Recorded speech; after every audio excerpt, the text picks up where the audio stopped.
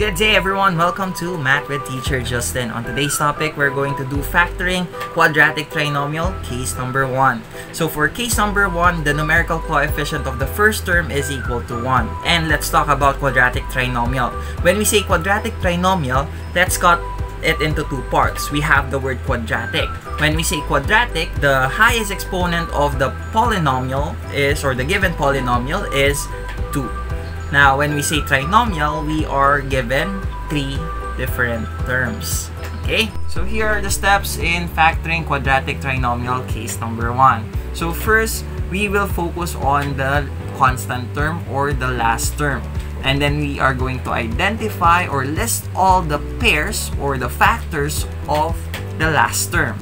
Next is we're going to pick a pair whose sum is equal to our middle term. Identify the pair of factors of C that when we add, it is equal to our middle term. Okay, and then we're going to factor it. Okay, let's have an example. For example, we're going to factor x squared plus 10x plus 16. So first thing that we need to do is to, to prepare our grouping symbol. So we're going to have two factors for this. So we need to prepare our two factors.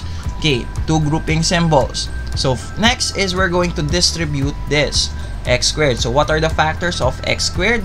We have x times x. So we're going to place it inside our group as our first term of each group. We need to focus on our last term, which is positive 16. We need to get the factors of 16. Our factors for 16 will be symboled as M and N. Okay? Look for the factors of 16, positive 16, that when we add, the answer is equal to the middle term. List down all the factors. So we have 16 and 1. We have 8 and 2. We have 4 and 4. Negative 16 and negative 1. Negative 8. Negative 2. Negative 4 times negative 4. Okay?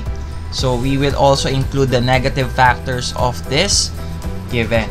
Then we're going to add. Add 16 plus 1. We have 17. We have 10. We have 8. We have negative 17. Negative 10 and negative 8. So here are all the factors of 16 and here are the sum of the factors of positive 16. So what is our objective is to look for the factors that when we add, the answer is 10. So let's identify in our list. So the factors that satisfy the condition is this one. Okay, so we have 8 and 2.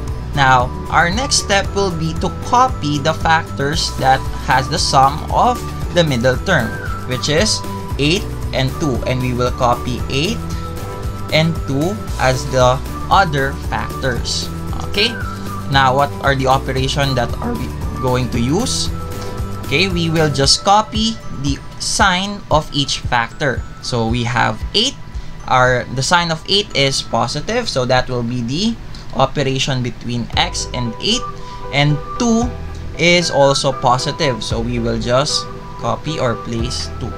Okay? And that will be our final answer. Let's have another example. For example, we have c squared minus 11c plus 18. Our next step is for us to prepare our grouping symbol. Preparing our grouping symbol for the factors of the given polynomial.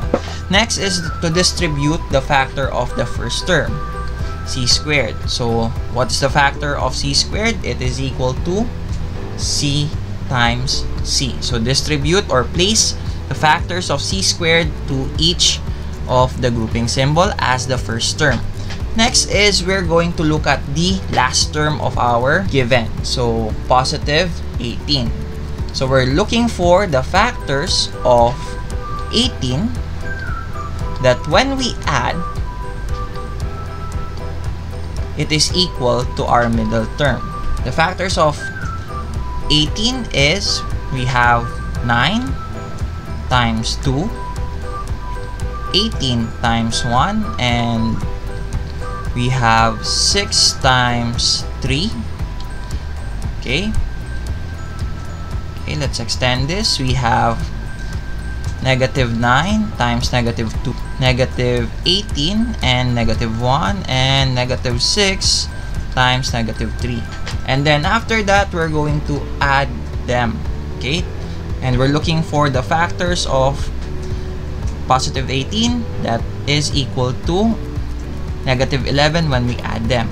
Okay, so 9 plus 2, it is 11. We have 19. We have 9 we have negative 11, we have negative 19, and we have negative 9. So, which among the following factors satisfy the middle term? So, it is negative 9 and negative 2.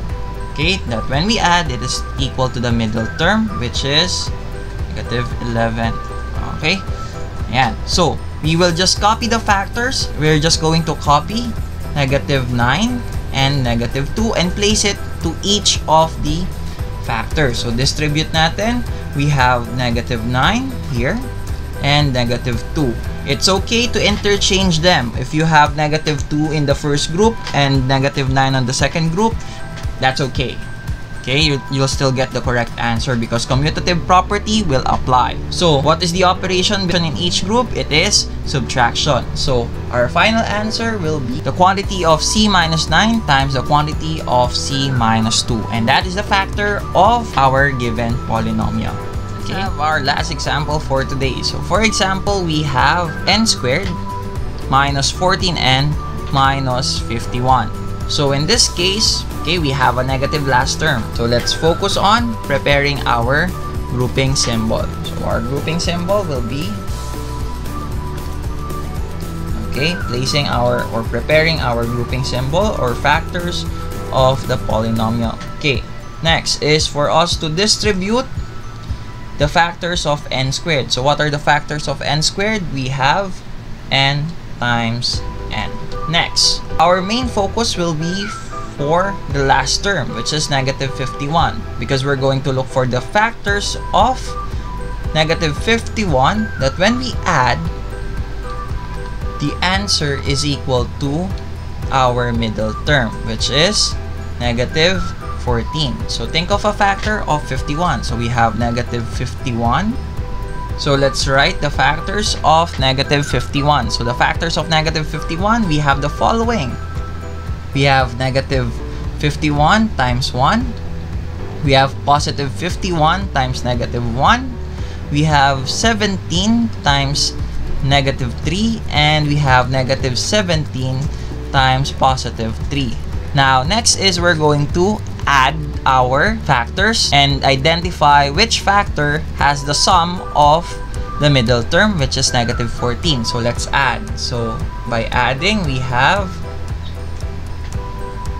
we have negative 50 we have positive 50 we have positive 14 and we have negative 14 so which among the following has a factor of negative 51 that has a sum of negative 14 and that is this one okay?